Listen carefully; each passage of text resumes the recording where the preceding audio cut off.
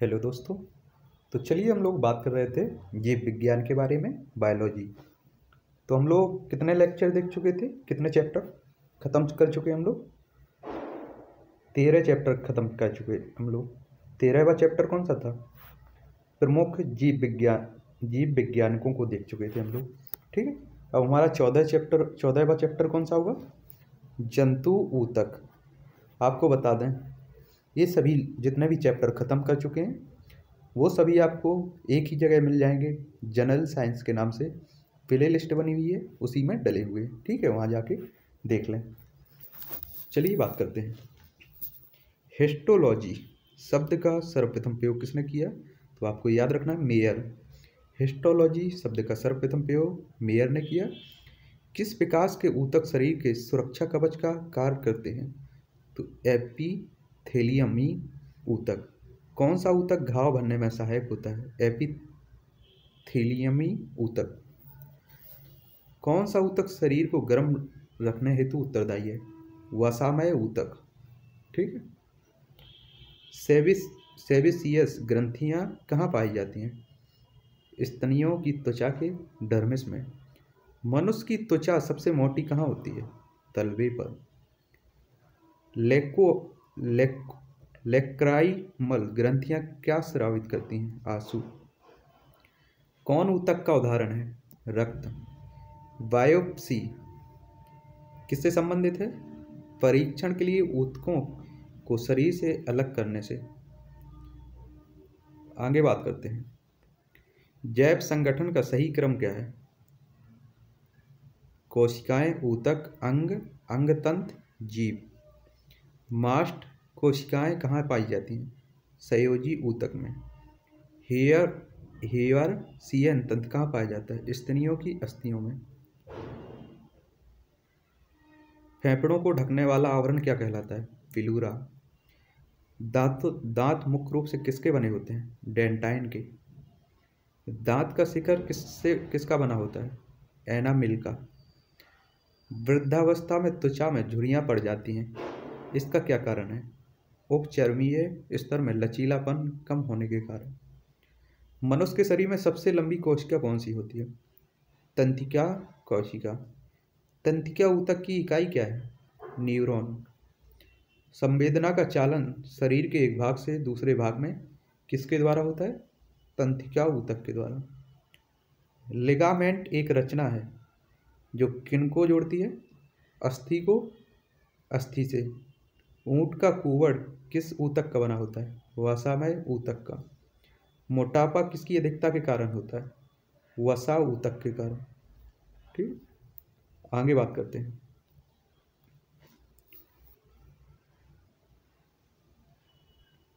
नाभि, रज्जु क्या है? प्रोढ़ संयोजी ऊतक। किसी जीवित देह के भीतर कोशिका या ऊतक की मृत्यु को क्या कहते हैं? न्यूटोफीलिया। किस ऊतक के नख, खुर और सींग बने होते हैं, कैरेटिन। आर एच कारक ने अपना यह नाम किस जानवर से लिया? बंदर से। जन्म के बाद मानव के किस ऊतक में कोई कोशिका विभाजन नहीं होता? तंत्रिका में। प्लाज्मा में जल का प्रतिशत क्या है? नब्बे प्रतिशत। रक्त क्या है? एक संयोजी ऊतक। समान कोशिकाएँ के पिंड को क्या कहते हैं? ऊतक।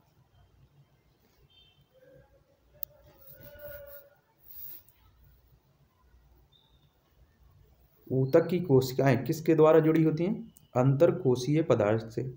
शरीर में अधिक, सबसे अधिक किस प्रकार के ऊतक होते हैं? संयोजी ऊतक।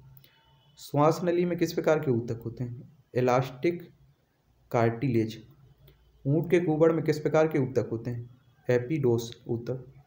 सर्वाधिक बड़ी कोशिका का प्रतिनिधित्व कौन करता है? शुतुरमुर्ग का अंडा। मांसपेशियों को हड्डी से कौन जोड़ता है? टेंडन। हड्डी को हड्डी से कौन जोड़ता है? लिगामेंट। सबसे महत्वपूर्ण कार्टिलेज कहाँ होता है? फाइब्रस कार्टिलेज में। फाइब्रस कार्टिलेज मुख्यतः कहाँ होता है? इनवार्टी ब्रिल डिस्क में। मनुष्य के शरीर में सबसे लंबी कोशिका कौन सी होती है? तंत्रिका कोशिका। ठीक है? आगे बात करते हैं। कुछ तंतुओं की आकारिक व शारीरिक लक्षण देखते हैं। संगठन के प्रकार ये सम्मिति है भूणीय स्तर फिर गुहा या सिलोम पाचन तंत्र और परिचन परिसंचरण तंत्र तो कोशिकीय स्तर बात करते हैं। उदाहरण के लिए जैसे स्पंज। असमिति उदाहरण स्पंज। द्विकोरिक, जिनमें दो भूणीय स्तर, बाह्य एक्टोडर्म तथा आंतरिक एक्टोडर्म। और मेजोरडर्म से आच्छादित शरीर गुहा को फ्यूहो गुहा कहते हैं, पाचन तंत्र से भोजन के बने जटिल अणुओं को छोटे अणुओं में विभाजित कर सरल पदार्थों में विभाजित करते हैं।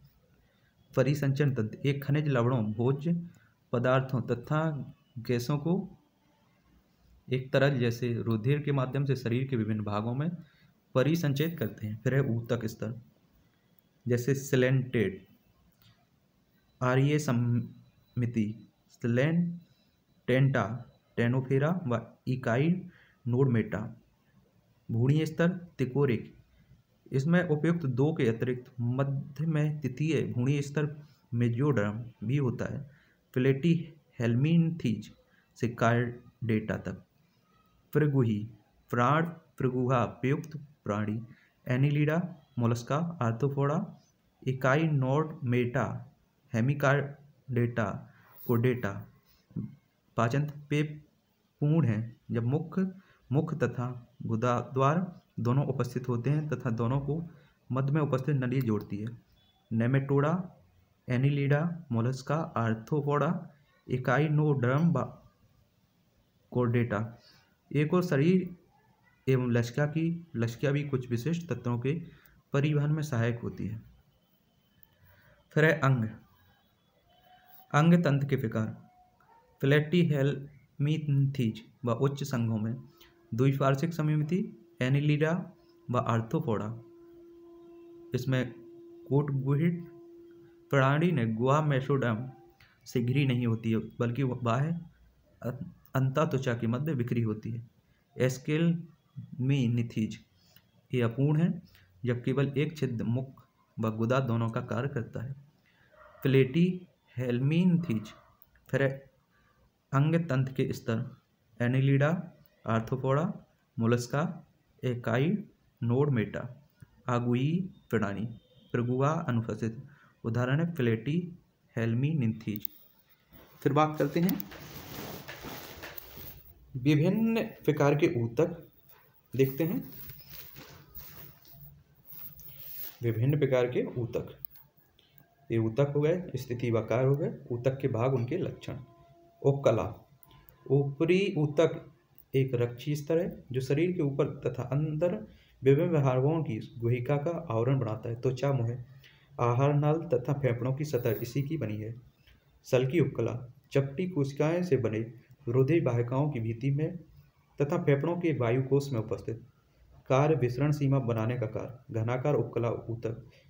घन जैसी कोशिकाओं का बना वृक्क, वृक्कों के विक्रों को के नलिकाकार भागों तथा ग्रंथियों की वाहिनियों में उपस्थित।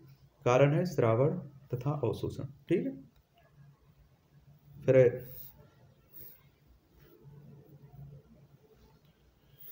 स्तंभाकार उपकला ऊतक लंबी तथा पतली कोशिकाएँ हाथ में उपस्थित। कार्य श्रावण और अवशोषण। पलमा पलमा भी उपकला। सॉरी पक्षमा भी उपकला। ऊतक स्तंभाकार या घनाकार कोशिकाओं की मुक्त सतह पर उपस्थित पक्षमा भी श्वसनिका डिम्ब वाहिनी नलिकाओं जैसे खोखले अंगों की भीतर सतह पर पहुँचे। कार्य कणों तथा श्लेष्मा को उपकला की सतह पर एक दिशा में ले जाना। फिर है सहयोगी ऊतक। कनेक्टिव टिश्यू बहुतायात एवं विस्तृत रूप से फैला हुआ शरीर के अन्य ऊतक एवं अंगों को एक दूसरे से जोड़ने हेतु उपयोगी है। शिथिल सहयोगी ऊतक। शिथिलता से जुड़े कोशिका व तंतु त्वचा के नीचे उपस्थित, जैसे गर्तिका उतक तथा वर्षा उतक सघन संयोजी उतक तंतु एवं तंतु कोशिकाएँ दृढ़ता से व्यवस्थित उदाहरण कंडराएँ जो कंगाल पेशी को अस्थि से जोड़ती हैं तथा स्नायु जो एक अस्थि को दूसरे अस्थि से जोड़ता है। विशेष प्रकार के संयोजी उतक उपास्थि, अस्थि, रुधिर इसके उदाहरण है। फिर पेशी उतक लंबी कोशिकाएँ जो शरीर का लगभग पचास प्रतिशत भाग बनाती हैं शरीर की सभी गति, गतियों में पेशियाँ प्रमुख भूमिका निभाती हैं। कंगाल पेशी, कंगाल अस्थियों से जुड़ी हुई मुख्य पेशियाँ, ऐच्छिक पेशियाँ चिकनी पेशी, आंतरिक अंगों जैसे रक्त नलिका, अग्नाशय, आंत की भित्ति पर उपस्थित अनिच्छिक पेशियाँ फिर हृदय पेशी, संकुचनशील ऊतक केवल हृदय में उपस्थित। फिर तंतिका तंतिका ऊतक। मुख्य रूप से परिवर्तित अवस्थाओं के प्रति शरीर की अनुक्रियाशील के नियंत्रण हेतु उत्तरदायी। तंत्रिका कोश का तंत्र की संचार इकाई है। ये कोश सूचनाओं को एक अंग से दूसरे अंग तक ले जाने का कार्य करती है। ठीक है? चलिए अगला चैप्टर कौन सा होगा हमारा? अनुवांश की पंद्रहवा चैप्टर होगा। अनुवांशिकी। ठीक है?